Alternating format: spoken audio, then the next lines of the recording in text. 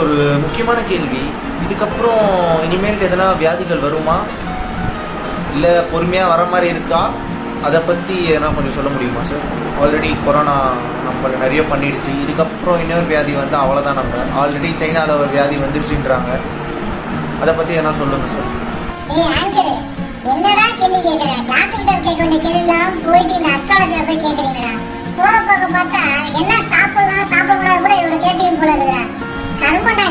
இப்போ எனக்கு கேட்டது அந்த மனசாட்சியோட குரல் உங்கள் மனசாட்சியோட குரல் நல்லா தெளிவாக கேட்டது உங்களுக்கு எதனா கேட்டுதா ஹம், ஹம், ஹம்.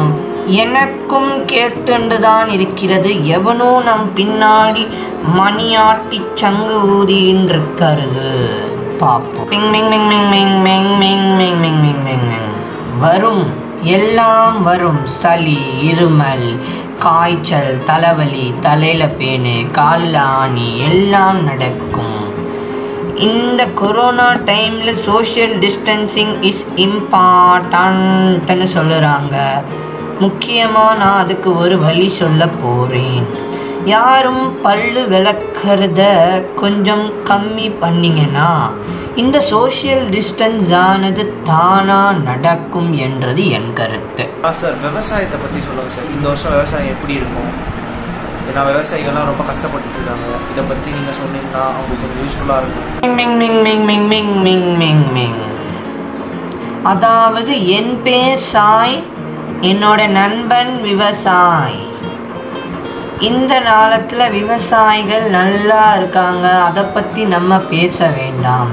அவங்க நல்லா தேர்ச்சி பெற்று சுபிக்ஷமாக இருப்பாங்க. அதனால் அது பேச வேண்டாம். அப்பாடி.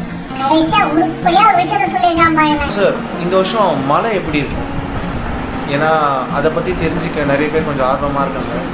அதை பற்றி கொஞ்சம் சொல்கிறீங்களா சார் ஓ மழை. மழை என்பது பெய்யத்தான் செய்யும். இந்த வருஷம் மழை அதிகமாகவே இருக்கும். மழை மட்டுமல்ல. மழை இடி மின்னல். அதனால் யாரும் வீட்டை விட்டு வெளியில் போகாதீங்க. மின்னல் தலையில் அடிக்க அதிகமான வாய்ப்புள்ளது. அதை மாதிரி எந்த மாதிரி காலத்தில் டிவி பார்க்கறத கம்மி பண்ணிங்கனாவே போர் அடிக்கும் போது டிவி பார்க்கறதுக்கு பதிலாக என்னோட சாஷ்டாங்கமான வீடியோஸை பாருங்க. நல்லது. அப்படியே அந்த வீடியோவை பார்த்துட்டு கேன்சர் உங்களுக்கு செத்துரும் சூப்பர் அதை பற்றிலாம் எனக்கு தெரியுங்க இடிலாம் கண்டிப்பாக இடிக்க தான் செய்யும். மழை பெய்யுமா பெய்யாதா? வருமா வராதா? அதை பற்றி சொல்லுங்கள் மழை பெய்யவும் பெய்யலாம் பெய்யாமலும் இருக்கலாம். மிதமாகவும் பெய்யலாம் கனமாகவும் பெய்யலாம்.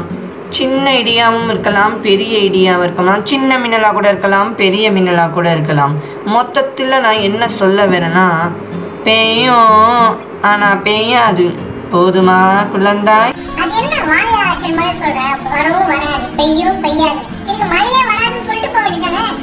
வேர்ல்ட் வார் த்ரீ பற்றி நிறைய பேர் பேசிகிட்டு இருக்காங்க. அதை பற்றி உங்கள் கருத்து என்ன சார் கொஞ்சம் சொல்லுங்கள் சார் நாங்களும் தெரிஞ்சுக்கணும். நல்லது. வேர்ல்டு வார் த்ரீ போன வாரம்தான் நான் பார்த்தேன். அது ஒரு அற்புதமான படம். அந்த படத்தில் என்ன ஒரு கொடை குறைனா டைட்டிலில் நடுவில் போட்டுட்டாங்க எப்பயும் படத்துக்கு முன்னாடி டைட்டிலில் போட்டால் அது நல்லா ஆயிருக்கும் அவங்க நடுவில் போட்டு தவறு தவறு செய்துட்டாங்க வேர்ல்டு வார் த்ரீ படமா?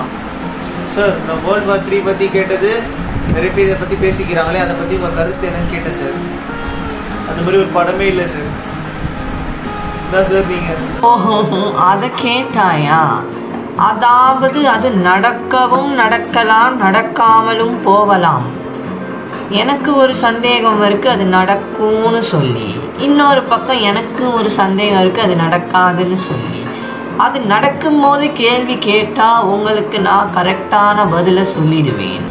ஏண்டா வேர்ல்டு வார் த்ரீ நடக்கும்போது உன்னை உட்கார வச்சு இந்த மாதிரி இன்டர்வியூ எடுத்திருப்பாங்க அவன் உயிரை காப்பாத்திருப்பானா உன்னை இன்டர்வியூ எடுப்பாங்களா பொய்யா பாயாம சார் அடுத்தடுத்த வருஷங்கள்லாம் எப்படி சார் இருக்கும் இரண்டாயிரத்தி இருபதுக்கு அப்புறம் வர வருடங்கள்லாம் எப்படி இருக்கும் மக்கள் இதை பற்றி தெரிஞ்சுட்டா கொஞ்சம் சந்தோஷமாக இருப்பாங்க சார் அதை பற்றி உங்கள் கருத்து என்ன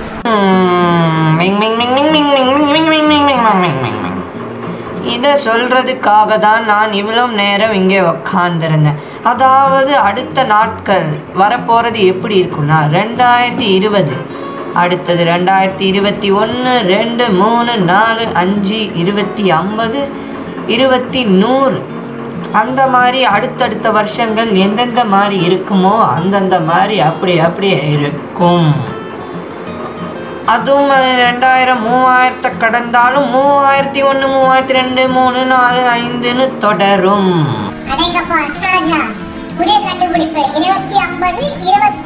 செம. சாமி சத்தியமா முடியல உங்ககிட்ட தெரியாம இந்த மாதிரி கேள்வியெல்லாம் நான் கேட்டேன். ஆனா அதுக்கும் நீங்க சம. விட்டுருங்க. என்னை அமிச்சனுங்க ஒரு டாக்டர் கிட்ட இல்ல வானிலை ஆராய்ச்சியாளர் கிட்ட எக்கனாமிக்ஸ் கிட்ட கேட்க வேண்டிய கேள்வியெல்லாம் உங்ககிட்ட கேட்க சொன்னாங்க. பாரு அதையும் நான் மூளை கெட்டத்தனமா கேட்டேன். ஆனா அதுக்கும் நீங்க வேற லெவல்ல ஆன்சர் சொன்னீங்க. கிரேட் இத பார்த்தவங்க கண்டிப்பா சிரிக்காம இருந்திருக்க மாட்டாங்க. ஆனா என்னால அளவுக்கு கண்ட்ரோல் பண்ண முடியல. என்ன விட்டுருங்கப்பா.